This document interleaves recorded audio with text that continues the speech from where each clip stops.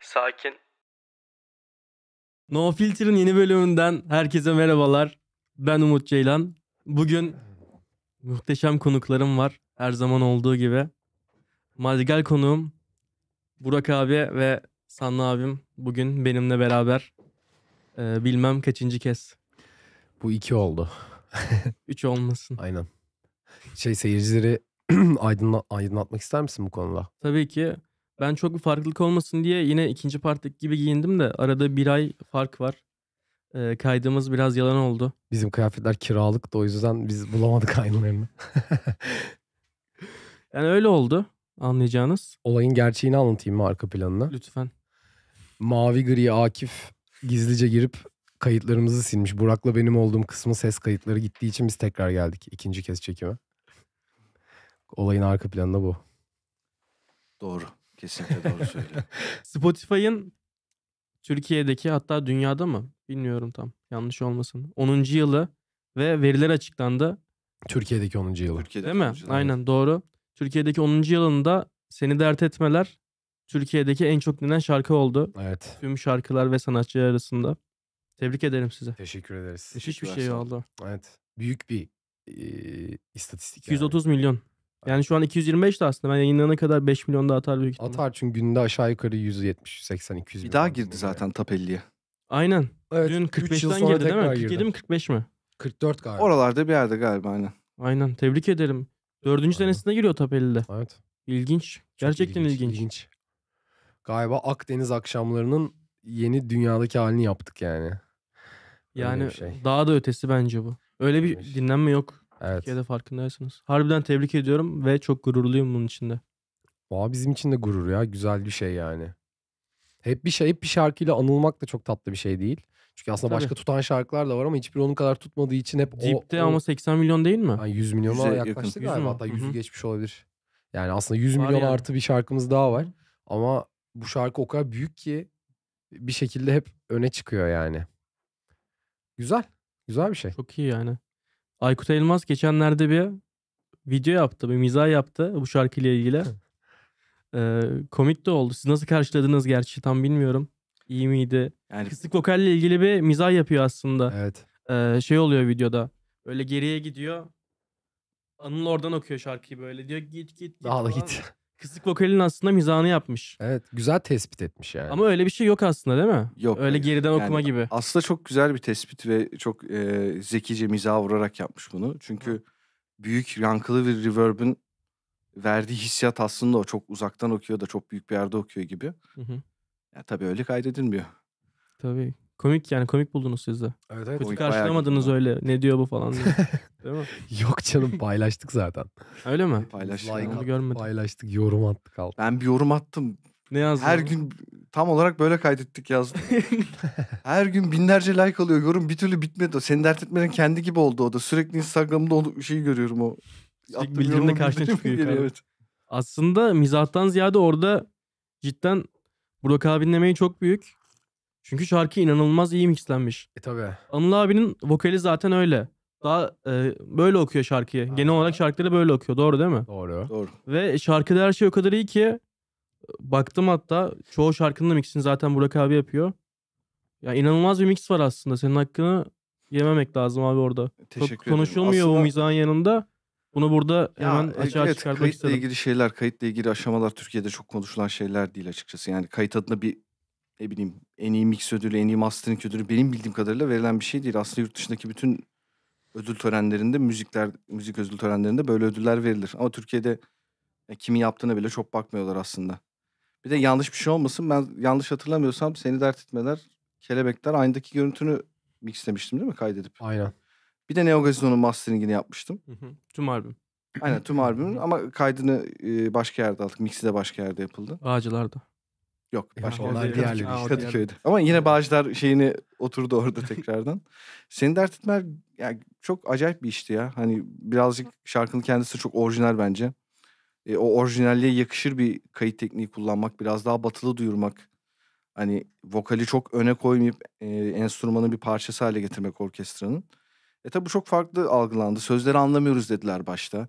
ne dediği anlaşılmıyor. işte çok yankılı geliyor falan. Ya aslında ilk çıktığında böyle bir sürü eleştiri aldık. Sözler anlaşılmıyor gibisinden ama Evet ama bizim kendi dinlediğimiz yabancı şarkıların yani benim kendi müzik zevkim mesela atıyorum dinlediğim şeylerin de ben İngilizce biliyorum. Hı hı. Yine anlamıyorum. Bakmam gerekiyor liriklere. Çünkü hem yutuyorlar hem işte atıyorum vokalin kendi söyleyiş tekniğiyle bazen dediğim gibi yutabiliyor. Farklı söyleyebiliyor. Farklı telaffuz edebiliyor. Sesini enstrüman gibi kullanıyor. Bazı kelimeleri uzatıyor. Öylesi bazı daha iyi kelimeleri duyuluyordur belki yutuyor. onun için. Evet abi o şarkının içinde o daha iyi tınladığı için adam onu tercih ediyor.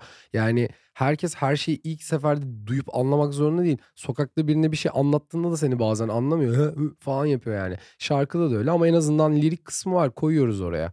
Girip bakmak çok da büyük bir e, şey değil bence. Girip bakabilir herkes zaten. Gayet de iyi duyuluyor bu arada. Bence de O güzel duyulması zamanlar önemli. Böyle bir iş olmadığı için bence bu vokallerde bu mixte.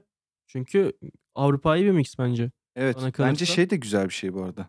Anlamamaları da bir yandan iyi çünkü merak duygusu uyandırıyor. Herkes anlasın diye de bir anda yapmıyorsunuz Yani, ama. tabii. İçinize öylesinde ve çok da güzel oldu. Aynen öyle. Dediğim gibi yeni bir şey olduğu için yediremediler ama zamanla oturdu bence.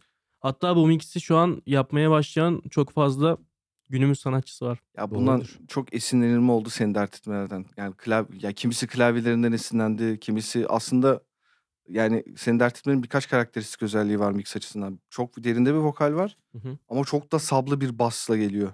Yani arabada ya da büyük bir mekanda dinlediğinizde gümbür gümbür geliyor. Yani bu Evet. estetikleri taşıyan bir sürü şarkı dinledim ben sonrasında. Kelebekleri de sen mixlemiştin değil mi abi? Hı hı. Kelebekler benim Madrigal'le ilk tanıştığım şarkıdır bu arada. Ya acaba şunu düşünüyorum bir yandan da. Şimdi Madrigal'in çıkışı aslında ilk kelebeklerle başladı değil mi? Doğru düşünüyorum. Evet. Doğru ilk biliyorum. Yükseliş, Yükseliş, evet. evet, öyle başladı. Acaba bu şarkıların mixinin bence çok etkisi var bunda. Acaba diye düşünüyorum. Burak, Gizli Burak kahraman Kamacı, Burak hocam. Burak Emir Kamacı'nın şeyi mi? Eli mi bu? Siz bize vermezsiniz ama. ya, Estağfurullah bence de mixlerin etkisi vardır ama be- yani grup o aşamada ne oldu? Teşekkürler. öyle cidden hayır bence. Ya ama grup o aşamada e, benle tanıştığı zaman zaten büyük kararlar almak üzereydi yani. Daha kuvvetli besteler, daha modern bir sound. Hani daha rock soundundan sıyrılıp biraz daha farklı şeyler yapmak üzereydi. Bence hepimizin emeği çok büyük. Ve bir araya gelmemiz çok güzel, büyük bir tesadüf diye düşünüyorum. Yani çok şanslı bir iş bence. Çünkü benim bir tane ortak arkadaşım yoktu Madrigal'le. Ben Madrigal'i internetten buldum yani. Gerçekten mi? Bir gün kafama kafama bilmiyordum. geldi böyle artık boğazıma kadar geldi dedim ben iyi bir klavyeciyim. Niye iyi bir grupta çalmıyorum? Bu grupların peşinde öldüm bittim. Garaj diye bir site vardır bilir misiniz bilmiyorum. Tabii. Bir sürü müzisyen birbirini oradan buluyordu eskiden.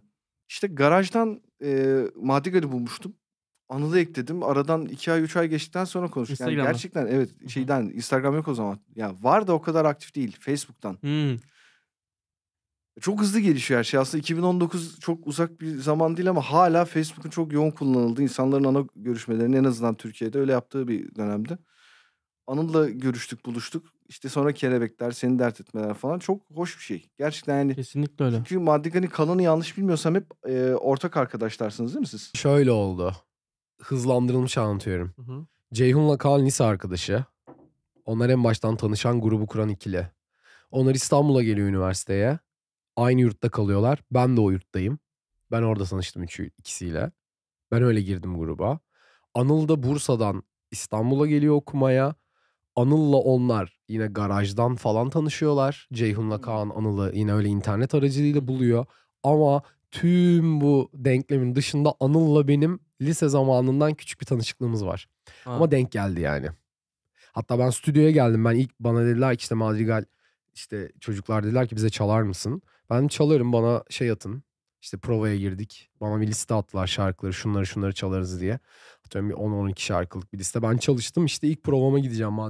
Hı hı. Kadıköy'de işte stüdyoya bir gittim. Anıl var. Anıl'ı bir yerden tanıyorum. Ulan diyorum bu herif o herif değil mi falan. Biz ta böyle o hikayeden bir belki 6-7 yıl önce Bursa'da ben lisedeyken bir denk gelmiştik. Aynı evde falan kalmıştık bir iki gece. Böyle ortak arkadaş ortamından. Denk geldi yani ama aslında hikaye e, Ceyhun'la Kaan'ın kurduğu benle yurtta tanıştıkları, Anıl'ı internetten buldukları ve sonra hepimizin Burak'ı internetten bulduğu bir e, toplanma şeklimiz Ya var. grubunuzun birleşimi zaten mucize böyle. Harbi liseden evet. arkadaş gibi duruyorsunuz beşiniz. Ama aslında bambaşka. Evet, Biriniz Facebook'tan tanışmışsınız, biriniz yurttan. aynen. Biriniz senin Anıl abi senin sayende. Beraber tanışıyordunuz. Gibi değil Sayende ama derken, aslında yok. aha, Ama önceden bir tanışıklığımız var. Müthiş Ama bir şey. benim o arada hiçbir bağlantım yok yani. Hani Anıl'ın gruba dahil olması Ha, kısmında yok. benim bağlantım yok. Çünkü ben gruba Anıl'dan sonra girdim. En son aslında Burak'tan önce ben. Sonra Burak girdi. Güzel baya. Aynen. Güzel. Size şunu sormak istiyorum. Şimdi çok fazla festivallere çıkıyorsunuz. Hatta yani son iki senenin falan en çok e, festivale çıkan grubu olabilirsiniz. Benim en çok Olabiliriz. denk gruplarından birisiniz diyeyim. Daha garanti olsun. tutuluyorsa doğru çıkabilir. Araştıracağım bunu daha da ayrıntılı ama benim denk geldiğim çoğu festivalde yani 10'undan 8'inde falan siz varsınız. Evet. Şunu merak ediyorum. Line-up sorunu yaşıyor musunuz hiç sanatçı sıralamasında? Ne bileyim mesela 20 sene önce unutulan bir sanatçı mesela sizin üstünüze yazılıyordur. Ne alaka baktığın zaman? Yaşamıyoruz. Şöyle yaşamıyoruz. İlk sene yaşadık. Hı hı. Ee, ya bu işin haliyle yeni o zaman işte iki sene önceden bahsediyorum. İki sene önce biz de hayatımızda ilk defa profesyonel olarak festivallere çıkan bir grup olduk yani ilk defa. Ee, üçüncü sıradan başladık. İşte headliner değil, co-headliner değil, onun da bir altı. Üçüncü sıradan başladık. Üç de güzel bu arada ilk başlangıç için. Zaten kesinlikle. bize de çok makul geldi. Biz şey tipler değiliz onu baştan söyleyeyim sana da. Oradan anlarsın zaten. Yani şey gibi bir derdimiz olmadı. Hemen headliner olalım. Hemen co-headliner olalım. Biz şöyle Kesinlikle. iyiyiz. Biz Hemen böyle olmaz süperiz. zaten bu. Aynen bize bunları açıkladılar. Biz de bunları gayet anlayışla karşıladık. Dediler ki ilk sene kendinizi kanıtlayın. He- Co-headliner olmaya aday olun. Hı hı. İyi çıkarırsak, iyi geçerse konserler zaten co-headliner'la oynarız dediler bize. Bizim çalıştığımız menajerler, işte tur menajerleri bize bu durumu açıkladılar. Biz de öyle turladık yani ilk sene tamamen 3. sıralarda, 4. sıralarda çıktık. Ama ilk sene turladığımızda da şunu gösterdik festivallerde, organizasyonlara, işte diğer gruplara, diğer sanatçılara. Üçüncü sırada ya da dördüncü sırada çıkan bir grubun kendi dinleyicisi bazen yeri geliyordu. ikinci sırada ya da birinci sırada çıkan grupları da ezebiliyordu yani. Öyle bir kitlemiz vardı. Bunu gösterdik. Müthiş. Ondan sonra zaten ikinci sene co-headliner çıkmaya başladık. Bu arada line-up bilmeyenler için söylüyorum. Sahne sıralaması anlamına geliyor yani. Sahnedeki sıralama, sıralanıştan bahsediyorum. Yani öyle ukala bir yerde değiliz. Hiç yaşamadınız mı yani? Doğru mu anlıyorum? Yaşadığımız oldu ama bizden kaynaklı değil. Yani biz kimseye tutup da bu niye bizim üstümüzde çıkıyor demedik. Ama size başkası Ama dedi. evet başkalarının bu konuda ego yaptığı oldu. Öyle durumlarda da biz çekildik festivallerden. Hiç o tartışmaya Çekildiniz direkt. girmek istemedik. Aynen. Ha. Kimseye böyle bir şey tartışmaya gerek yok. Kimseye bir şey kanıtlamamıza da gerek yok. Biz kendi müziğimizi yapıyoruz. Çok güçlü bir fan base'imiz var. Çok dinleniyoruz. Bunlar hepimizin çok büyük ve ulaşamayacağını düşündüğümüz hayallerdi. Ve artık bunlara ulaştık. Daha da iyilerini yapmak istiyoruz. Daha kalıcı olmak istiyoruz. Daha uzun süre bu işi yapmak istiyoruz. Kimseye de bir alıp veremediğimiz yok. Kimseyi kıskandığımız falan da yok açıkçası. Ben kendi adıma söyleyeyim. Ben hırslı biriyimdir bu arada. Diğer gruplara ya da sanatçılardan her zaman Madrigal yani bir fazla dinlenecekse bile bir fazla dinlensin isterim yani mesela. Niye en iyi biz olmayalım ki? Hep böyle düşünüyorum. Ama bu hırsımı kıskançlık gibi ya da böyle toksik bir yere yönlendirmiyorum yani. Onlar nasıl bizim üstümüzde çıkar, bunlar nasıl şöyle yapar falan gibi bir yerden değil. Okey bu sene onlar üste çıkar ama biz daha iyi işler yaparız ve biz daha üste çıkarız. Yani bu zaten ya sen iyi gidiyorsan bunu kimse durduramaz ya. Hani bu sel Tabii gibi bir ki. şey ya. Hı hı. Senin kitlen büyüyorsa bunu bunu bir şey hani bir sene sana haksızlık etsinler, iki sene etsinler, üçüncü sene edemezler. Edemezler Yani tabii ki de. Aynı şekilde tam tersi de öyle bu arada. Üstlere çıkmışsındır. etmez bu arada. Yani üstlere çıkmışsındır ama artık kitlen gitgide düşüyordur. Senin işlerin başarısızlaşıyordur. Artık unutuluyorsundur ve eskiyorsundur. O zaman da senin aslında alttan gelenlere yerini bırakman lazım. Ya bunu direterek yapamazsın. Bunu göstererek yaparsın. Biz bunu göstererek yaptık yani. Dediğim gibi ilk sene 3. 4. sıralarda çıktık. Bununla ilgili hiçbir derdimiz olmadı. İkinci sene ve üçüncü sene şu an co-headliner turluyoruz festivallerde. E, headliner olduğumuz da oldu birkaç kere. Ama mesela biz kendimizi o kadar headliner olarak da hazır hissetmiyoruz. Açıkçası onu da söyleyeyim. Ya ama ben de tam bir onu şey var. diyecektim. Oraya girecektim yani. Böldüm sözünü kusura bakma. Bazen e, yeni sanatçılarda oluyor bu. Yani eski sanatçılarda da olabilir belki bilmiyorum. Çok dinlendiği zaman dijital e, ev şeyde, alemde. Havaya giriyorlar. Yani havaya girmek demeyelim. Tamam bir, bir başarıdır. Hı hı. Ama e, hani daha az dinlenen ama yıllarca bir kitle oluşturmuş grubun gerçekten hani diyorsun ki ya bu grup bu sanatçı benim yarım kadar dinleniyor. Niye benim üstümde gibi düşüncelere girebiliyorsun. Biz açıkçası çok düşünmedik diye düşünüyorum bunları. hı. Ama e, kitlesi bambaşka oluyor. Yani o biraz daha eski sanatçının biraz daha geçmişte büyük olup da şimdi e, rüzgarı dinmiş sanatçıların kitleleri acayip şeyler çıkabiliyor. Yani e, çok farklı etkiler yaratabiliyor dinleyicide. Onu da anlıyorsun yani bence bilmiyorum sandık katılacak mı bana bu konuda.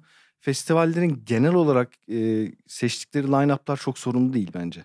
Evet yani aşağı yukarı- oluyor bu arada. Seyirci, ya onların da bir tecrübesi var ve seyircinin verdiği reaksiyona göre diziyorlar gibi geliyor bana. Ama genel olarak diyorum bunu. Tabii her şey doğrudur diye demiyorum. Bu arada e, seni dert etmelerin kaydı sırasında bir şey yaşanmış Bağcılar stüdyolarında. Onu da sizden dinlemek çok isterim. Şey mi? Ka- vokal kaydı olayı. Aynen aynen. O, Öyle bir olay yaşanmış. Aynen.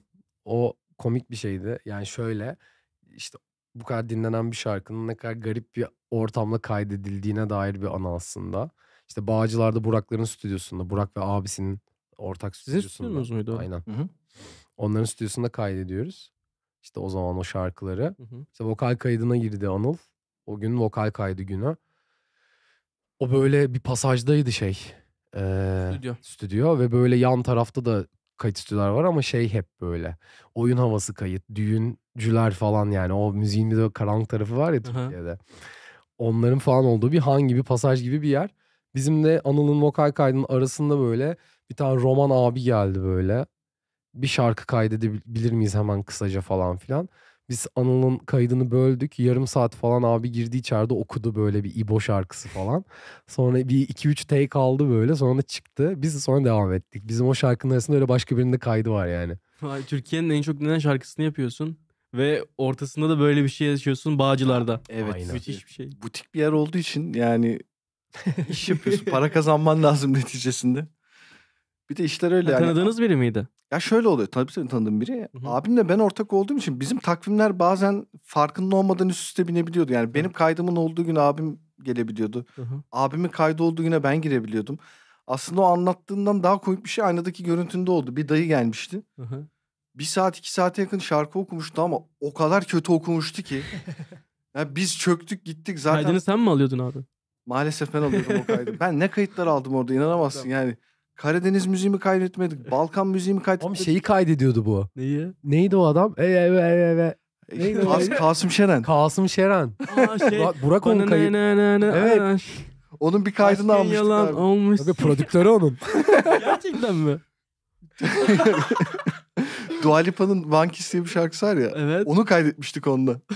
çok çok acayip bir kayıttı. Dua Lipa'nın ve Kasım Şeren'in Abi bir prodüktörü. dakika. O Aşk Benimle şarkısını sen mi aldın Yok kaydına? aşk benim değil ben almadım. Hayır, hayır, sonraki şarkı. Olsun. Sonraki şarkıyı aldım. ben. Olsun. Tam patlama noktasından Aynen. sonra. Çok çok iyi bir adamdı bu arada. Çok orijinal bir Doğrudur, adamdı. aynen. Ve konuştuğu çok anlaşılıyordu. Şarkılar kendisi gibi Şar değil. şarkılarda bilerek mi öyle yapıyor?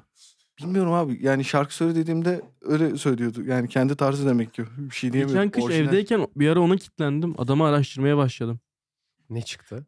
Bir anda aklıma şarkısı geldi. E, Araştırdım baktım. Hayat yaşıyor hayatını. Yaşıyor yaşıyor. Abi e, o kadar tuhaf anılarım var ki o stüdyoda. Bir gün oturuyorum böyle.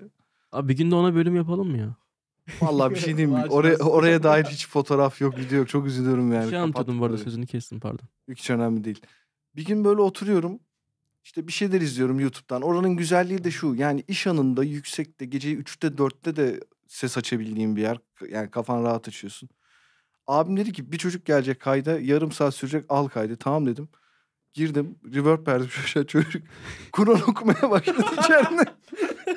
Ama öyle bir okuyor ki acayip duygulandım yani. Felaket bir şeydi. Gitti çocuk. Nasıl abi kayıt güzel mi? Güzel olmuş. Bana bunu yolla, yolladı gitti.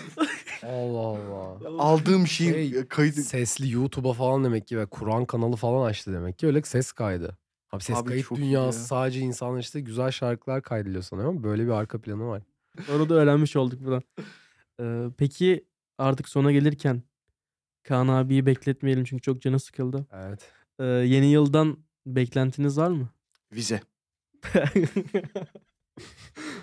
Seninki abi. Yeni yıldan beklentim. Yani şey olarak üretim olarak daha yoğun bir şey yapmak yap, yapsak güzel olur. Yani ben o şeyi özledim. Açıkçası işte böyle mesela bir yani bir albüm çıkarmak iyi özledim. Tek seferde 7-8 şarkı yayınlamayı özledim. Onunla ilgili düşünmeyi, onunla ilgili okumayı, etmeyi, feedbackleri dinlemeyi özledim. Ee, onun dışında yeni yıldan dileğim bir altın kelebek daha alalım bu sene. İnşallah. Mesela. Çok güzel olur. İkinci altın kelebeğimizi alalım. Süper olur. Bilmiyorum yani inan Umut'u daha az göreyim. Umut'u daha az yürüyeyim. Abi biz Sanlı abiyle bu aralar sevgili gibi olduk. biz sabahları birbirimize günaydın yazıyoruz. Yakışıyorsunuz ya. En son gece 3'te konuştuk. Şimdi tekrar beraberiz. Elif gece mesaj atıyor zart diye yanımda kız Sen arkadaşım de bana var. sabah yazıyorsun abi. Ne yapayım? Ne konuşuyorsunuz abi bu kadar özel? Günaydın. Günaydın abi ne yapıyorsun? İyi, İyi- misin iyi abi? canım, Bir şey sen- sorabilir miyim? Ben diyorum sağ ol canım sen nasılsın? Sen de bana arada bir şeyler söylüyorsun. Soruyorum soruyorum tabii ki. Yok karşılıklı zaten. Ya yeni yıldan dileklerimi hemen hızlıca söylüyorum. Altın kelebek. Ee, bir harbiye daha yapalım. Ee, üç olsun. Ee, altın kelebek iki olsun. Ben de uyumsuz gibi. Abi bireysel bir isteğin yok mu?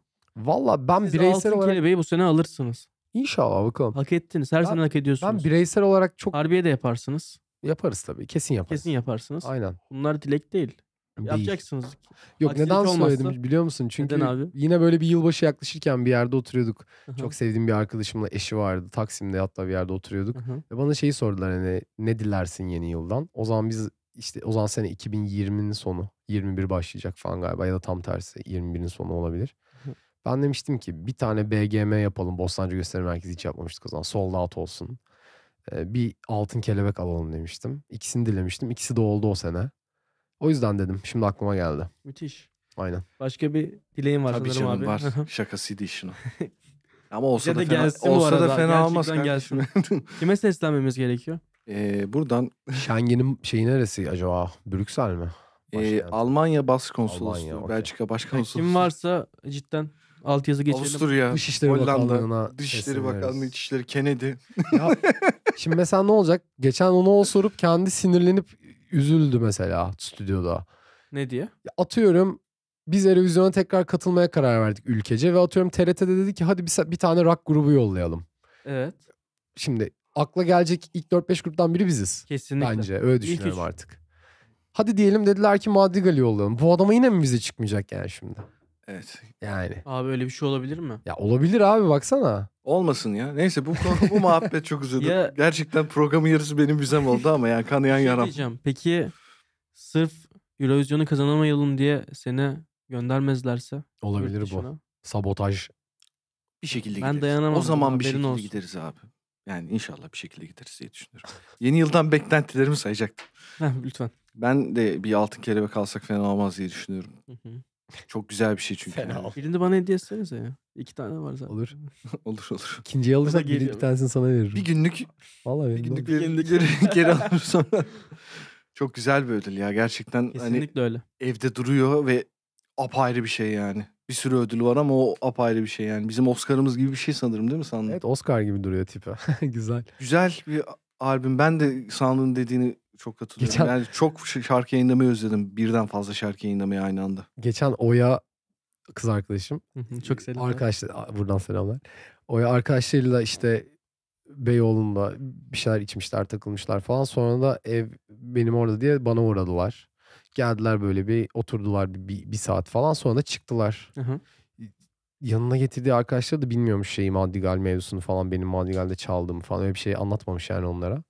Kızım bir tanesi gelip şey falan demiş Oya'ya. Evde niye altın kelebek var? Bu evde niye altın kelebek var? Evde altın kelebek var. Çok komik bir şey yani Hiç... düşününce. Ha bahsetmiyor mu ne iş yaptığını? Yani pek hava atmayı seven bir tip değildir. Hı. Güzel bir şey bu bence. Sen Bence ne hava güzel. atılır bu arada abi. Sevgilim Evet, olsaydın sanat. hava atardım senden. E, sa- sayılırız artık. artık. Mesaj atacağına hava at yani. Sürekli. Bu arada hediyen için çok teşekkür ederim. bir şey değil. Eclipse'de e, çaldığın baget Aynen. deniyor değil mi? ona? Evet baget. Bagetin bir tanesini bana verdi Aynen. sana abi. Çok teşekkür ederim. Üstüne yazdım işte 11 Kasım 2023 Eclipse. Bir de imzamı attım. İmzam yok da öyle adımı yazdım yani. Teşekkür ederim. Çok Ne demek. hoş bir hediyeydi. Ne demek? O zaman ben e, Anıl abi, Ceyhun abi ve Kaan abi daha fazla bekletmeyeyim.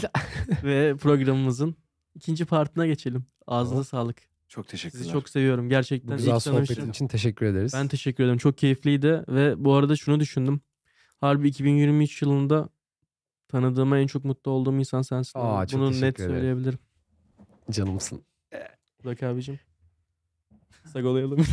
Sago. Sağ olasın. Çok teşekkür ederim. Bu arada siz program şimdi için. Anıl, Ceyhun, Kaan siz konuşurken ben de üstümü değiştirip arada gelirim. Ben de bir saç sakal ekleyeceğim. GTA'daki berbere gitmem lazım. Saç ekleyecek bana. ben de biraz saçımı kestirip geleyim Aynen. o zaman. Aa, canım Hadi geçelim teşekkür o zaman. ederiz. Ben teşekkür Okey. ederim ya iyi ki varsınız. Sen de öyle. Abi sizler de hoş geldiniz.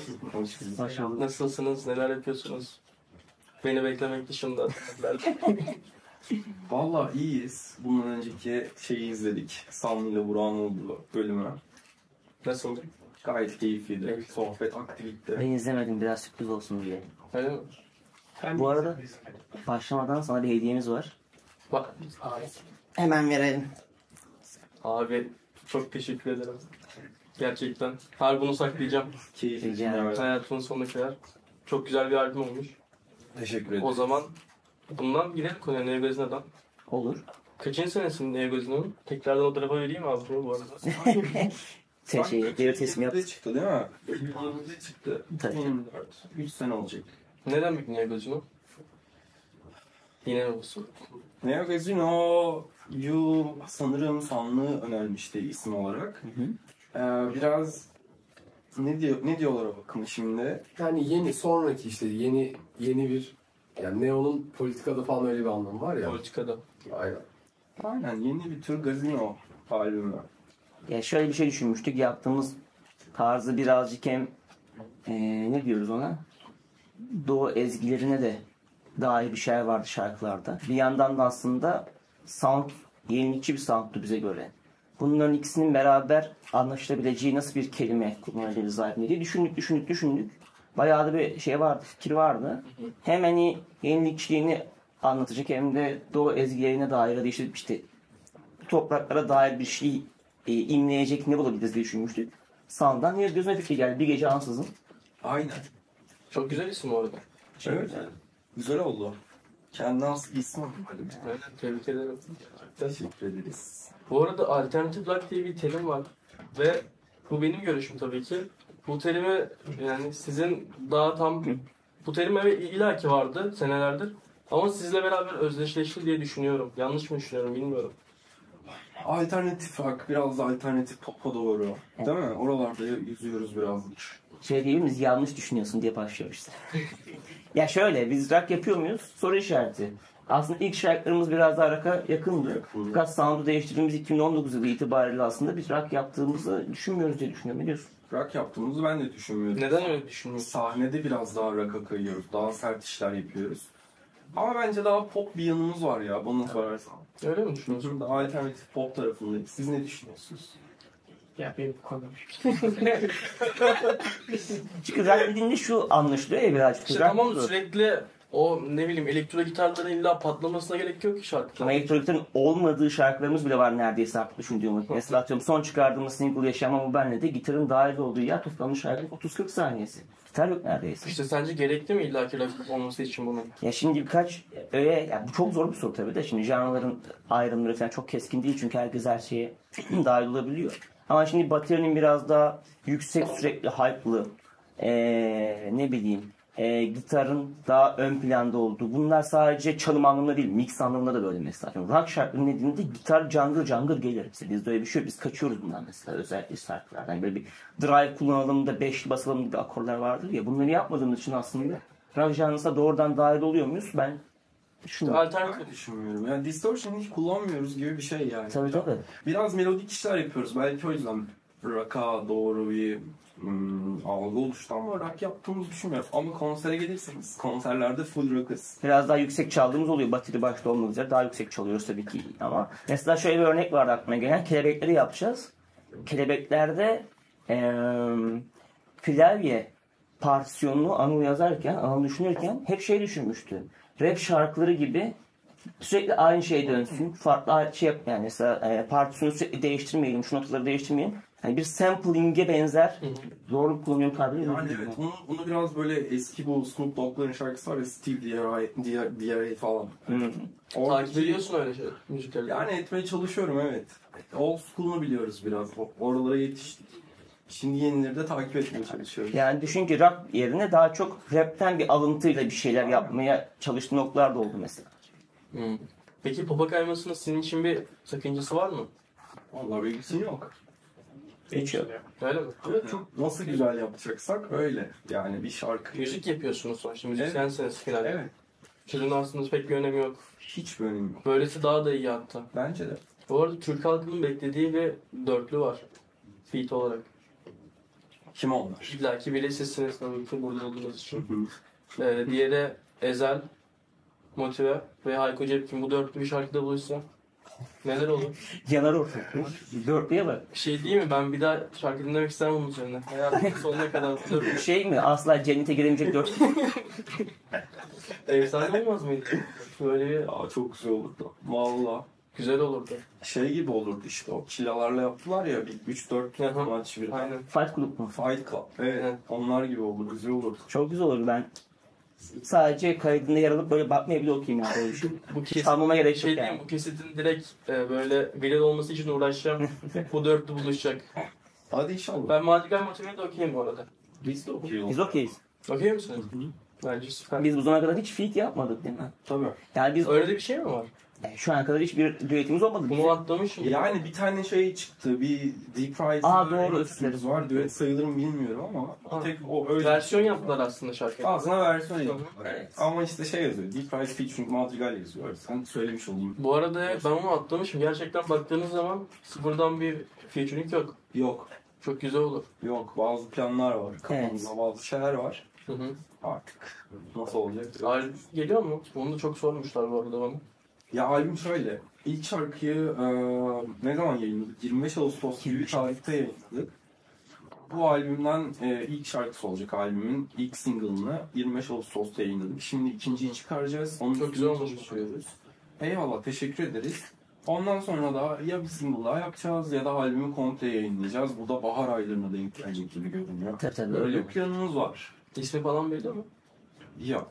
Yok biz her şeyi son anda. Bize Neo Gözü'nün ismini belirlenmesi de albümü vermesi. Son hafta. Evet evet albüm vermesi son bir hafta kala belirledik ismini. Yani her şeyi yaptık ettik falan filan. Albüm ismi yok. Ama albümü artık şeye vereceğiz yani. Yayına vereceğiz falan. Orada bir O deadline gelirken ki e, Fitret falan herhalde güzel bir şeyler çıkartılıyor. İyi kapaklar, iyi isimler, işte şarkılara son dokunuşlar falan.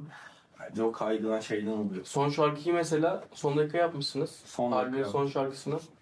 Sıralamada öyle değil ama değil mi sanırım? Yanlış mı biliyorum? O Sen- albümün ikinci şarkısı oldu. Evet a- aslında son şarkıyı o zaman. Hatta bir de Bambaşka'nın... Bence en geç yapılan şarkı, biten şarkı bambaşkaydı. Doğru Bambaşka'ydı. Bambaşka'nın sözleri bitmemişti. Sözleri bitmeden vokal kaydına girdi. Evet. Gerçekten. Ama şey olarak... Nasıl oluyor peki? Ha melodi mi yazdın? Ha, Tabii tabii. Ben genelde öyle çalışıyorum. Önce müziğin üzerine söz yazıyorum. Ee, ama dediği gibi, senin dediğin gibi olur. Ee, son albümün aslında son yapılan şarkısı yani son bestesi yapılan şarkısı bitti. Ama bambaşka en sona bambaşka kaldık. Abi biraz sana dönmek istiyorum. Hani anlatıyorum. Abi sen konserlerde de aynı şekilde mesela çalıyorsun. Evet. Etrafa bakıyorsun orada. Canı sıkılıyor. Orada canı sıkılıyor. Gerçekten Buna dikkat ettim abi. bunu geçen son Ankara konserinde de biri söyledi. Fotoğrafını çekmiş. Ne düşünüyorsun orada dediler. Ben boş boş yere bakıyorum. Artık yani bazen e, olay tiyatroya gibi dönüyor. Yani böyle bazen hisler artık oturmaya başlıyor. O yüzden artık farklı düşüncelere gidebiliyor kafa. Ama e, genel olarak şey biraz evet oturaklı olduğum yerde düşünerek çalan bir Seni gözlemlemeye çalıştım baya. Baktım mesela programlar canın sıkılıyor. Ne zaman gitsek gidelim. E, burada da şu an öyle gözüküyor. öyle değil aslında. O yüzden durmadan konuşturmaya çalıştım. Evet, evet. ben ne güzel dinliyorum. Az önce Sanlı ile Burak'ı dinlerken de böyleydim. Ceyhun'la Anıl da çok Ne güzel anlatıyor. düşünüyorsun abi de? Mesela herkes seyirciye bakıyor. Sen o sırada arkaya bakıyorsun. Sanlı abiye dönüyorsun. Şöyle çok güzel anlatıyorlar. Gerçekten ekleyecek bir şey mi olsa keser laflarını söyler. Konserde diyor. Ha, konserde. Konserde neler düşünüyorsun? Her, şeyi merak her şeyi düşünüyorum ya. Kon abi, konser farklı bir olay. Bunu düşünürken kaçırdığın oluyor mu? İçki içerken yok. Ya oluyordur. Onları sonra. ben çok ona da dikkat etmiyorum da. e, yani böyle içki içerken konserde insan böyle düşünceler geliyor ya aklına ve ben bazen çok takılıyorum öyle konulara. O yüzden şey oluyor. Sahnede de oluyor. Ama bazı şarkılar var. Hani kendimin bir bas partisyonunun önünde olduğu şarkılarda daha dikkatliyim. E, diğer böyle aynı şeyi yaptığım şeylerde maalesef çok böyle bazen dağılıyorum. 100 tane şey söyledi ne düşündüğünü söylemedi. Ne? Öyle bir Şey- konu var mı ya? Şey bir süredir şeyle çalışıyoruz. Talkback koyduk sahneye. Tam ona değinecektim. Birbirinize kızıyor musunuz Talkback'ten diye. Ya yaşa Talkback'ten şakalar başladı Kaan'dan artık. Adam gerçekten konser bir sıkılıyor oldu. Sadece kaldı senden de oğlum. ne? Şarkıları çalıyoruz, çalıyoruz, çalıyoruz. Tam yeni şarkıya başlıyoruz. Talkback'ten konuşuyor, bir şeyler söylüyor. Vallahi. Yeni yeni alışmaya çalışıyoruz bunlara işte. Acayip acayip şeyler. Yani evet. Benim dikkatim dağıldı. Neler diyorsunuz? Aslında Farklı şeyler dönüyordur orada biraz. aslında küçük sessel problemlerimizi halletmek için. E, Amaç oydu aslında. Amaç o zaten. İlk birkaç şarkı belki yarısına kadar da öyle gidiyor. Yarıdan sonra tabii cıvımalar başlıyor. Konserde güzel geçiyor. Aynen. Şakalar, kukalar ama ne dediğimi hatırlamıyorum ki mesela. Ee, ben bence toplayıp yok. Ben geri kalmıyorum. Hayır bir de o mikrofon ortada espri yapacak olan ortaya gidiyor. Evet. Geliyor.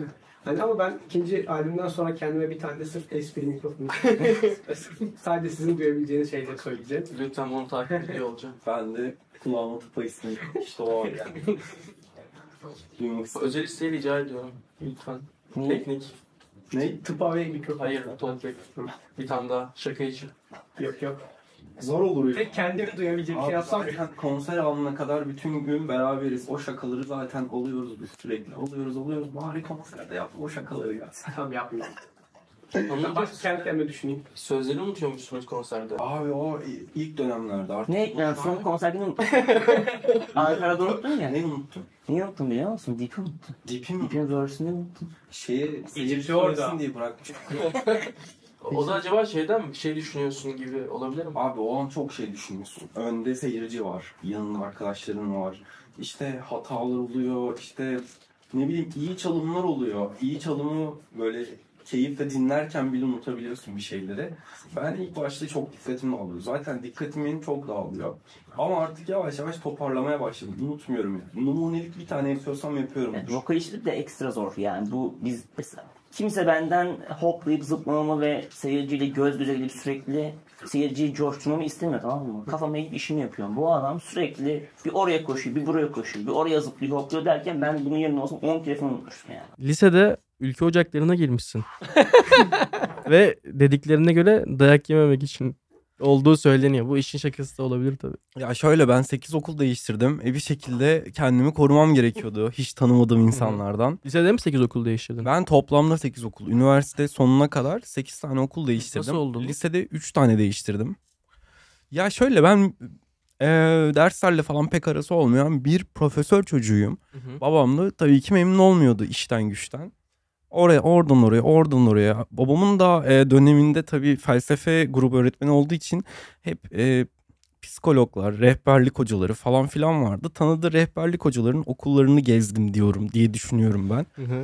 Ha, yani babandan dolayı sürekli değiştiriyordu. Tabii yani Hı hı. ama asıl sebep tabii ki kötü eğitim hayatı yani babamdan dolayı demeyeyim de. Kötü eğitim hayatı dolayısıyla 8 okul değiştirdim. Her gittiğim okulda tabii farklı farklı insanlar. Onlarla bir şekilde uyum sağlamam gerekiyordu. Orman kanunları ne gerekiyorsa onu yaptık. E, şaka sandın ama gerçek çıktı değil mi? Evet. Şaka mı sandın? Gerçek. Evet. Bunu sen şeyden mi gördün? Bir video vardı bizim bir şarkı. Bebekler şarkı kaydı. He vlog. Orada söylüyordu çünkü sanlı mı söylüyordu değil mi? Aynen. Kaan'ın e, ortamları vardır. E, arkadaş çevresi çok geniştir bu arada. Hı. Biz mesela ilk konserlerimizde bundan 10 sene önce o zaman şarkılarımız da daha yayınlanmamışken Ülke ocaklarına konser yaptık. İlk Ocak'ta şey e, sadece Kaan'ın tanıdıkları arkadaşı, eşi, dostu gelip Hı. mekanı dolduruyordu. Öyle dönemlerimiz var Gerçekten yani. mi? E, bar grubu zamanları hep Kaan 50 kişi falan getirirdi. Ben böyle. çok seviyordum ya insanları davet etmeyi. Hani bu konuda böyle yaptığımız işi göstermeyi belki de. Yani stüdyoda mesela hep insan çağırırdım. Bu çok değişmedi zaten. Şu anki konserlerde de en fazla davetiye Kaan oluyor. Gene 100 kişi falan getiriyor her konsere böyle. bir. Maalesef ya. Ama kıyamıyorsun gibi sanki insanlara. Mutlu Evet, etmeyi evet. seviyorsun. Evet evet onlar para verdiriyor ben verdirmiyorum tanıdıklarıma. Öyle mi? Ama bir şey diyeceğim. Sanki doğrusu o değil mi bir yerden sonra? Tabii ki davetlin olur. Eşin dostun. Bunu yazarsın konserine gelmek istemişler. Ama bunu düzenli olarak her İstanbul konserinde mesela ben de geleyim ben de geleyim. E gel biletini al. Haksız mıyım? Ya öyle tabii de Eşin şimdi. dostunsa biletini alır. Bence onun karşı taraftakilerini düşünmesi lazım. Biz yine Evet kesinlikle. Hı hı. Evet. Şimdi sen gidip de adama "Git bilet al lan davetli değilsin falan dediğinde de olmuyor yani. İşte bende Ama- olay farklı. Ben o zamanlar da o 100 kişi geldiği için şimdi onlara Tabii tabii vefa borcu anlamında. gibi aynen öyle. Çünkü sonuçta Onlara- hiç bir şey- e, ünlü değilken de bu insanlar bizim müzikal hayatımızın devam etmesinde önemli bir yer tuttular. Zira barlara konsere çıkıyorsun. Orası oraya 10 kişi geldiğinde o bar bir daha sana sahne de vermiyor. Onlar Biz de sahneden geldik yani. Biz mesela evde bilgisayarda demo yapar. Yani şimdi hı. beste yaparken onu kullanıyoruz ama ilk müzik hayatımız başladığında bol bol konser vererek sürekli sahne tozuyla bir yerlere gittik senelerce ve o sahne tozunun devam edebilmesi için insan gelmesi lazım. İşte para harcamaları lazım vesaire. Böyle ya mekanlar hep. E, tabii. Dolayısıyla o tarafta Kaan'ın ve onun arkadaşlarının rolü büyük. Onlar okey ama o gelenler size o zamanda da yalnız bırakmayan okey ama onun haricinde de illaki oluyordur ama bunun bence usulü dostunsa seviyorsan bilet al izle git bence. Biliyor musun öyle yapanlar da var. Bence çok Aha. şık oluyor. Kesinlikle ama bunu herkes düşünemez mesela dışarıdaki insan şey olarak düşünebiliyor. Ya Ceyhun benim tanıdığım niye bilet alayım ki o beni yazsın diye Daha kötüsü var. Bak ben sana şimdi bir şey anlatacağım. Daha dün oldu bu. Motive konseri var ya 12'sinde. Evet. Benim de kuzenim var bir tane tamam mı? Aha. Dedi ki bana Ceyhun abi motive konserine bilet ayarlar mısın? Kaç kişi bilmem kaç kişi dedim. Kaç kişi? Ben dedim ki buna bak, bak bizim konserimizi geçtim. Bana diyor ki hatta şey Moti konseri diyor. Öyle. Dedim ki ya sen kafayı mı yedin dedim ya. Yani şimdi sen benim Peki şey, böyle mi? Akrabamsın. Butonla mı yaptın? Evet ses Aha. kaydetme butonla yaptım ama yani yazdım dedim ya. Şimdi benden istiyorsun. Bunun hiçbir sıkıntı yok. Hı hı.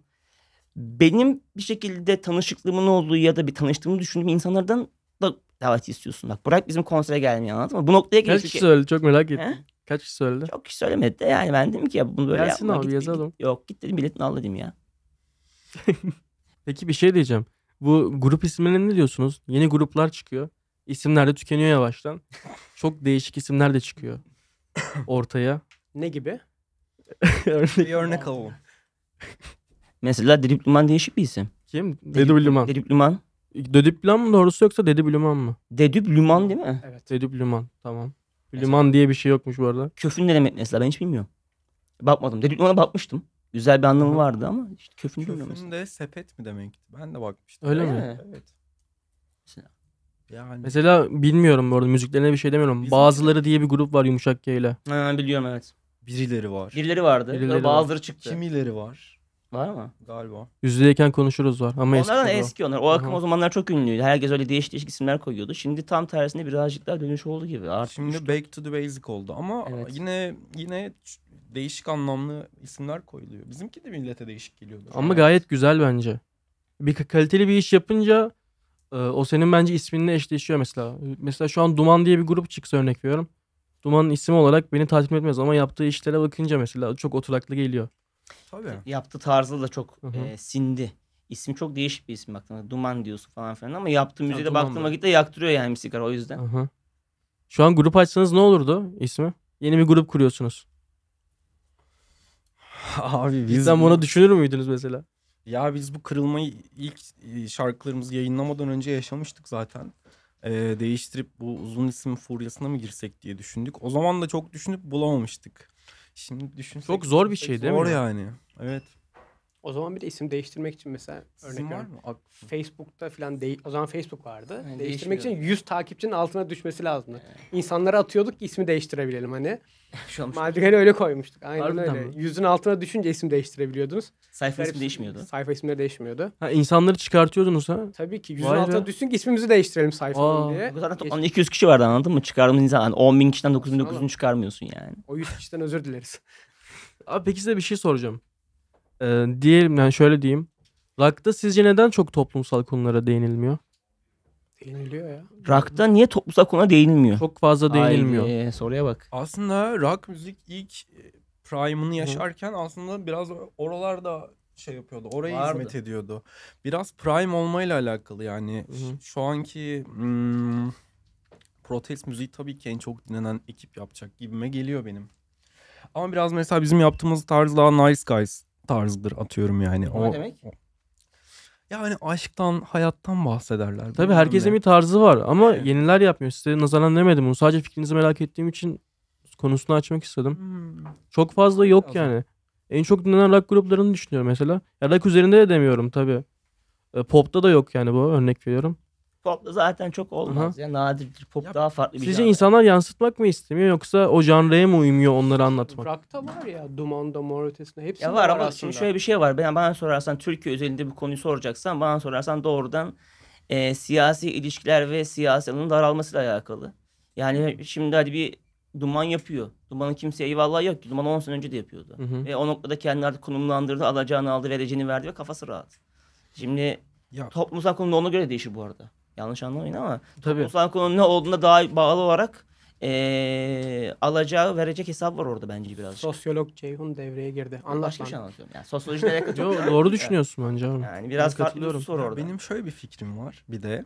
Ee, bu şu an rock biraz geri planda olduğu için adamların tutturmak için biraz aşk yazmaya ihtiyacı var bence. Doğru. Bana sorarsanız.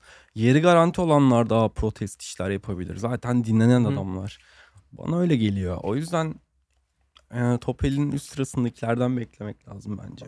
Değil mi? Hı hı. O kaygıyla o insanlar yapamıyor diyorsun yani. Bence öyle. Kaygısı olan insan yapamaz gibi. Tabii Smash'i çıkaracaksın bir de toplumsal şarkı e, sıkıntılara değinecek bir şarkı olacak çok kolay değil. Zamanında örnekleri var ama çok kolay değil yani. Albümün içine konur ya. Albümün içine de mi koymuyorlar? Kimse. Ya ben denk gelmiyorum. İlla ki Hmm. vardır. Ondan eminim zaten ama baktığınız zaman en çok dinlenen şarkılara bakınca bu tarzda çok gözüme çarpmadı. Ben başka bir şey daha söyleyeceğim. Biraz da aslında to- e, toplumsal dertlerle, ülkeyle derdi olan insanların da yavaş yavaş ülkeyle olan dertlerini geri plana attıklarını ve bu konuları saldıklarını da düşünüyorum. Yani e, umudun olmadığı yerde ses de çıkmıyor gibi biraz. Gerçi şöyle de bir şey var. İlla herkesin bir düşüncesi vardır. Bunu şarkıya e, şarkıda anlatmak zorunda illaki değil. Ve bunu anlatınca da zaten bunu alan kişinin sayısı kemik bir kitle.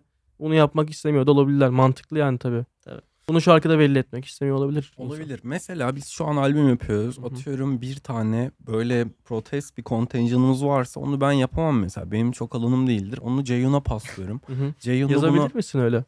Ya daha önce bir tane yazmışlığım var. Hani deneyeceğiz. Yapacağız Bence yani. Bir şeyler yazabilir. yaparız. Albümde de gerekli bir tane de olsa yani burada konu ne olduğu önemli değil. Aşk meşk işlerin dışında da şarkı gerekli yani. Sonuçta hayat aşktan ibaret de değil baktığın vakit toplum yaş, günlük yaşamımız. hı. Yapacağız ama mesela tabii ki bir hit potansiyeli, bir hit çıkaracağımız zaman önceliğimiz bu olmuyor değil mi? Olmuyor bence de. Ama albüme mutlaka koyarız. Bu, bu, bu konulardan bahsettiğimiz bir şarkı Çok mutlaka güzel olur bu arada. Hı hı. Sizden dinlemek bunu. Nasıl yorumlayacağınızı da merak ediyorum çünkü. Ben de merak ediyorum. Bakalım. Abi kedin var bir tane evinde. Komik olan ne? var. Ama kedilerden korkuyormuşsun. Evet korkuyorum ne var? ya normal bir şey. Yani, Sadece bunu nasıl yaptığını merak ettim. yani şöyle benim kedim bende kedi korkusu yoktu. Eve kedi aldım. Ee, kendi kedimin her şey yapabildiğini gördükten sonra sokaktaki kedilerden korkmaya başladım. Ama ondan korkmuyorsun. O- Onunla uyuyabiliyorum, yatabiliyorum. Ama ondan dolayı kedilerden korkuyorsun. Evet çünkü her şeyi yapabiliyor. Yani bu her şey yapabiliyorsa dışarıda kediler de her şeyi yapabilir. Bu bakış açısıyla kedilerden korkuyorum. Öyle Ama yani. bunu bir yıl sonra tekrar konuşursak yenmiş olacağım. Gerçekten mi? Evet evet böyle Peki, bir hedefim var. Var mı normalde korkup yendiğin şeyler hayatta ya da yapamadığın? Ama bu bu ilk olacak. o da kedi. Kendi kendine mi yenmeye çalışacaksın? Evet önce kendi kedimle olan problemi halledip sonra sokaktaki kedilerle bu işi genişletip çözeceğim. İsmi ne kedinin bu arada? Nova. Nova. Evet evet. Müthiş. Yani Abi dalga geçtiğimi düşünecek abi. öyle düşünüyorum zaten. Abi gü- bunu gülmek için demedim. Gerçekten merakımdan sordum. Yani yok, bunu sanlı şerefsizi söyledi büyük ihtimal. Abi bu arada biz Kedinin kendi söyleyecek hali yok. ekşide yazıyormuş. yok yok. Aa ekşide mi yazıyormuş? Okuyacağım onu. ekşide yazıyor. Peki gidişattan memnun musun? Kendi adına konuşursan grubun gidişatından genel. İyi çocuklar çalışıyor. yani şöyle e, albüm güzel gidiyor. E, hazırlıkları E, ama öncelikle Neo Gazine'den bahsedeceksin sandım albüm güzel yok, gidiyor. Yok yok yeni yeni yeni olaylardan bahsedeceğim. Bize ben de yeni ilk böyle bir kendi aslında bestemi koymak istiyorum yeni albüme. Bunun için çalışmalar yapıyorum. Hiç yok şu an öyle mi? Şu ana kadar yok evet evet. Hani belki Ben sebebini zaten söyleyebilir miyim? Kedilerden kork. Hayır. öyle öyle bir şey demeyeceğim. Sen çünkü stüdyodan kaçıyorsun. Ha, evet öyle bir şey var ya. Ben Mesela her kayıt gününde vlog gördüm. Her kayıt günü derken işte birkaçını gördüm. Hiçbirinde Kaan abi yok. Hiçbirinde yok hem de. Daha Değişik bir şekilde. önemli işleri var galiba. ya yok da ben böyle şey e, zamanın boşa geçtiği yerlerde çok duramıyor gibiyim böyle biraz fıfıklanıyorum. Beklemeyi sevmiyorsun. Da boş Boş yapıyoruz diyor yani. Ya bir tanesini ben, bak bir tanesini ben hatırlıyorum mesela. Ee, bir deprem olmuştu tamam mı? Hı. Yakın zamanda. Tam kayda girmemize 2-3 gün kala. Kayıt alacağımız yerde bu Burak'ın eski stüdyosu işte. Burak'ın çalıştı hı. beraber işte. Eski püskü bir ev. Milattan Korkuyor önce- yani. Ben- Adam O meşhur apar topar- Bağcılar. He, Bağcılar. Ha, o. o. deprem. Kaydı al siktir oldu gitti. Deprem olursa yıkılacak diye korktuğu için. Tabii. Böyle bir şey var mesela böyle bir sebebi var. bir Abi. Ekip arkadaşların orada ama. Onları kurtarabileyim diye. Birinin dışarıda olması lazım. Bir bir oldu. Aynen. Takip ediyor musunuz globalden isimler? Ediyoruz. Sen normal dinliyoruz. Yani ekstra seni takip ettiğin birisi var mı böyle özellikle şu dediğin? Ya da bir şeyler yapmak istediğiniz birileri var mı mesela hiç yurt Bir dışında? şey çıkarsa hemen açtım bir iki grup var mesela. Ha. Men I Trust gibi. İşte Tame Impala gibi. Hı hı. Valla düet çok isteriz ya neden olmasın bir gün. Neden olmasın kesinlikle. Evet. Mesela şeyi merak ediyorum. Senin dert etmelerde e, hani istatistikler çıkıyor ya. Onda yurt dışında yüzde kaç dinlenme var? Onu merak ettim gerçekten. Çok güzel soru ha. Geçen konuştuk. Geçen konuştuk ama ben yine unuttum 20'lere biliyor musun? Herhalde %10 ile 20 arası 15 civarı bir şey Evet, miydi? evet 15-20 Değil arası. mi? 15 civarı Hangi bir şey. ülkeler var? E, Standart Türklerin daha çok yaşadığı ülkeler oluyor. Mesela ne Çünkü- bileyim Almanya oluyor. Azerbaycan. Hı hı. Azerbaycan çok oluyor. Şey vardı ilginçtir. YouTube'da mı o? Ee, Özbekistan mıydı Türkmenistan mıydı? Özbek- Özbekistan'da çok dinliyormuşuz ya. Öyle mi? Özbekistan'da Ha. konser yapacaktık hatta. Evet öyle bir niyet vardı. Sonra bir teknik sıkıntılar bir şeyler oldu galiba ama yapmayı düşünüyoruz yani. Özbekistan'da çok dinliyormuşuz. Dip Özbekistan'da hiç e, konser yapan bir Türk görmedim daha henüz. harbi. İlla ki var Elbet ben vardır görmedim. ya, değil Benim mi? dikkatimi Ben çekti. de hiç Son bilmiyorum. zamanlarda hiç olmadı en azından. Öyle bir niyetimiz de var mesela atıyorum yurt Hı. dışı konserler mesela bir Özbekistan'a gidebiliriz belki değil mi? Bir şeyler konuşuldu çünkü. Evet evet. YouTube soruyu- tarafında ama mesela orada Spotify mı yasaklı artık bilmiyorum niye. Hmm. YouTube tarafında o veriyi görebiliyoruz. Bazen öyle oluyor O- mesela. Evet öyle şeyler var bu arada. Azerbaycan'da da benzer bir problem yaşamıştık. Spotify onlara da geç geldi. Galiba YouTube'dan değil mi? Şey yapıyordu. evet, YouTube'da çok öndeydi falan. Aynen. Yani şöyle bu soruyu sorma nedenim şu aslında. Şimdi hiç Türkiye'de e, bu alanda en azından alternatif rock alanında ya da siz nasıl tanımlarsanız müziğinizi Pop. e, Öyle diyor yani. globalde globale açılmış bir e, kişi grup yok. Ve janrınız çok güzel. Ve sound'unuz da daha nasıl diyeyim global bence yani.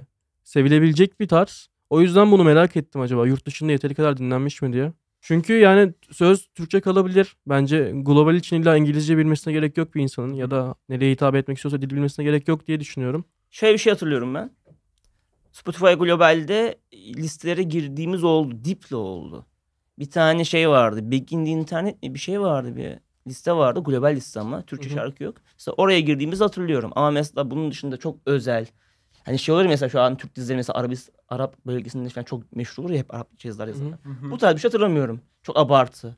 Bir ara bir Arap yazılar gelmişti ama. O yurt dışında çok izlenen bir diziye verince Ha evet ondan şey gelmiş. oluyor. Bütün her yer e, Arapça oluyor. Evet, evet. Ondan da ondan da. Ben Öyle bir şey var. Joy Türk'te denk geldim bir radyo programı. Seni dert etmeler çaldı ve şöyle bir şey dedi.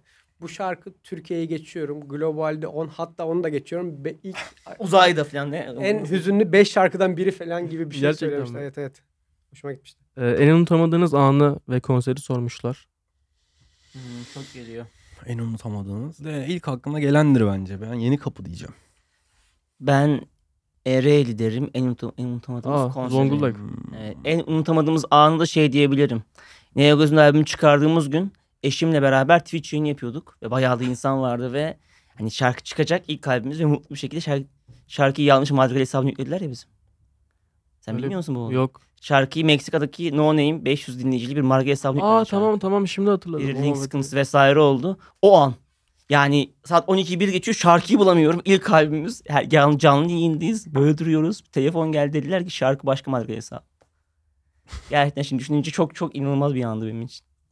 Ya ben Benim de Ereğli konseri diyeceğim ya. Niye sö- yani Ne var o konserde bu arada? Şöyle gözümün aldığı her yerde insan vardı. Yani ara sokaklar, balkonlar, çatılar. Hmm. Hani 800 e, bin diyordu emniyet o gün giriş Ama çıkışı oraya yani. Ne diyorsunuz? Şimdi Sanlı burada olsa daha iyi anlatır. O ünlü bir festivalmiş galiba. Sanlı Ereğli bu Abi arada. lütfen buyur.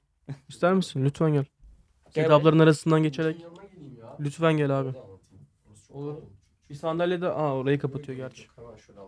ne anlatacaksın acaba? Hoş geldin abi. Ki. Festival New York Ereğli Arka- dediğiniz an geldim. Ha, tamam. Okey. Pardon. Şu an okey. Özür dilerim. Estağfurullah. Şimdi şöyle Umut'cum Ereğli e, Sevgi Barış Dostluk Festivalimiz var bizim. Benim çocukluğumdan beri Oğlum böyle göz göze bakarak anlat. yapılıyor. şey çok roman. Bize doğru anlat. Sevgi. Size mi anlatayım? Bize doğru anlat. biliyorsunuz Dinleyicilere anlatalım. Tamam tamam. Şuraya doğru. Ee, Ereğli'mizin ünlü bir festivali var. Sevgi Barış Dostluk Festivali. Ben de çocukluğumdan beri orada gittim. En ünlü grupları, en ünlü sanatçıları hep izledim. Bütün şehir gelir. Festival alanı 3 gün sürüyor. Hı hı.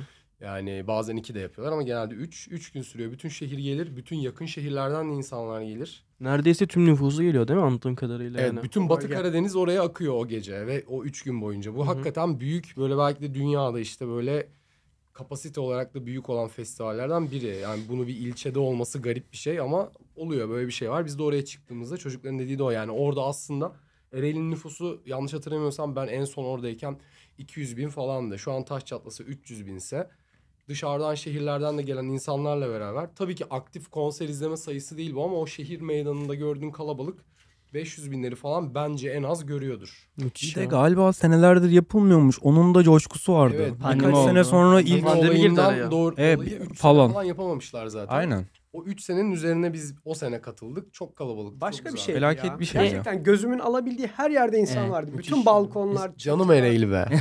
Memleket be. Buradan Ereğli'ye. Bu festivalle ilgili ilginç bir şey de vardı. Yanlış hatırlamıyorsam belediye başkanı şey demişti. Ne demiş? Michael Jackson'ı çağırdık ama vefat Gel etti. geldi. Değil mi? Yok. Michael Jackson çağırdık Madigal geldi. Dedi ki sen Michael Jackson'ı seversin ama cenazene Madrigal. Hadi gay gibi bir şey oldu. Adam Michael Jackson çağırmış yani festivale.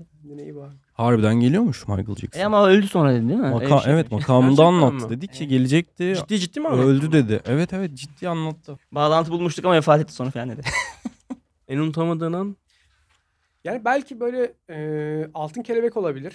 Harbiye konserleri olabilir. Yani Altın Kelebek ve Harbiye. Harbiye'de yani böyle ilk defa e, çok böyle bu ikisi de aslında böyle görkemli şeyler. Hani o ikisinde de yer almak güzeldi. Benim için bence bu ikisinde çünkü Altın Kelebek'e izleyici olarak gidebilir miyim derken aradan pandemi girdi çıktı ve bir ödül alan müzik grubu olarak. tebrik katıldı. ederim gerçekten. E, o yüzden bence unutulmayacağım bir an benim için. Müthiş ya. Bu arada ben de ilk Sanlı abiye direkt şeyi sordum. Altın kelebek muhabbeti konuşurken.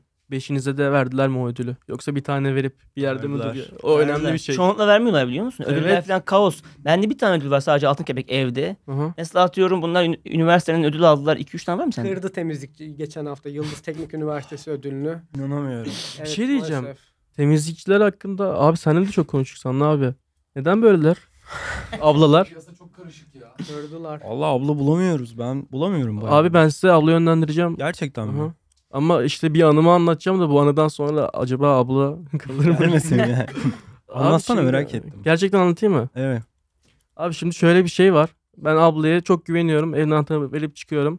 Ve işte abi açık açık anlatayım bu anıyı. Ha, Anlatayım değil mi? No filter sonuçta. ben abla geleceği için e, affedersiniz prezervatifleri e, pantolonların arka, altına ve en arkasına saklıyorum. Ayıp olmasın kaç yaşında ablamız yani abla diyoruz.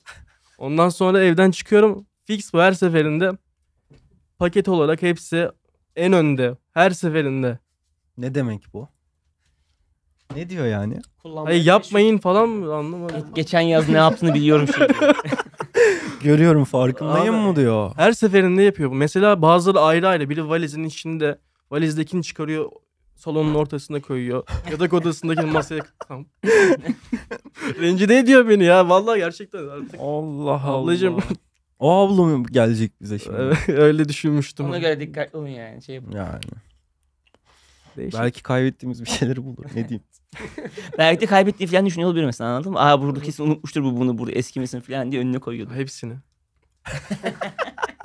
Sanlı abinin temizlikçisi de e, altın kelebek ödülünü mutfağa rafa koymuş. ne sandı acaba? Tuzluk mu sandı? Niye öyle oldu acaba? Olsun ya böyle. Teşekkür ederim bugün konuğum olduğunuz için. Biz teşekkür Teşekkür ederiz. Çok keyif aldım. Ağırladığınız için. Son anında da biraz kapanış oldu gerçekten. Aynen öyle. Çok teşekkürler ağırladığın için. Umarım teşekkür keyifli ederim. bir içerik çıkmıştır. Kesinlikle öyle. Sizle muhabbet etmek çok güzeldi. Eyvallah. Onun dışında. Plak için çok teşekkür ederim. En çok da vakit ayırdığınız için tabii ki. Eyvallah. Bizim ikimizin konuşmalarında biraz problemler oluyor abi ara ara. Hızlı konuştuğumuz için. Evet. Ben ama çok çalıştım. Yarım saat çalıştım gelmeden falan. Abi şu an efsaneydi. Değil mi? Evet. Ben de umarım. Yaptım sürekli. Onun etkisi oluyor mu? Oluyor. Yarım saat yaptım. Ee, diyaframı çalıştırdık falan. Kendimizi biraz yorduk Hı ki hı. hızlı konuşmayalım diye. Süper abi. İnşallah konuşmamışım. Teşekkür ederim. Çak. Sanlı yaptı oradan gördüm bunu. Öyle mi? Hadi